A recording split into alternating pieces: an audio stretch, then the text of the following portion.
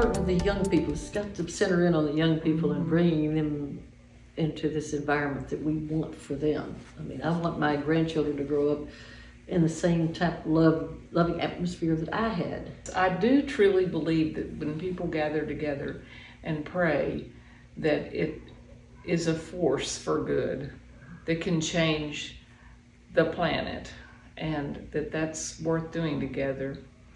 Hello, my name is Sean Haley, and as a lifelong member of St. James Episcopal Church in Houston, a parish with a historic legacy of parishioners who have lovingly fought for equity and justice in many forms, it's my hope that the church and diocese will inspire hope within the hopeless, expunge fear from those who hesitate to pursue self change or institutional change that eliminates racial disparities or other forms of inequities, and to create opportunities for parishioners to proactively engage in improving outcomes for all of God's people.